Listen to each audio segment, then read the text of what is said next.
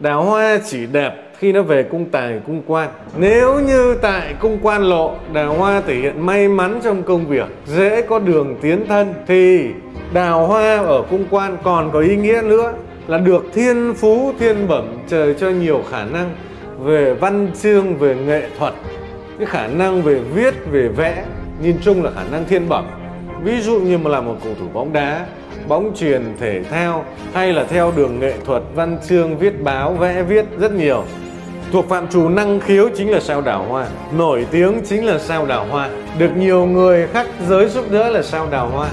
Thế nên các cụ đã nói rồi, quan cung mừng gặp đào hồng mà thiên di tối kỵ kiếp không lâm vào, tức là làm sao? Quan cung mừng gặp đào hồng ấy rằng cung quan lộ có sao đào hoa hoặc hồng loan là sớm cử thành danh, nổi tiếng trong nghiệp văn chương học hành chữ nghĩa. Thi cử đỗ đạt hào hoa phong nhã là đào hoa cư quan. Mà đào đã cư quan chiếu về mệnh, tướng lại càng đẹp. Chính là sao đào hoa, vui mừng lắm khi đào hoa cư cung quan lộ. Nhưng thiên di tối kỵ kiếp không lâm vào là những người có nhiều sát tinh ở cung thiên di thường là cách số chết đường chết chợ vậy nhé. Đó.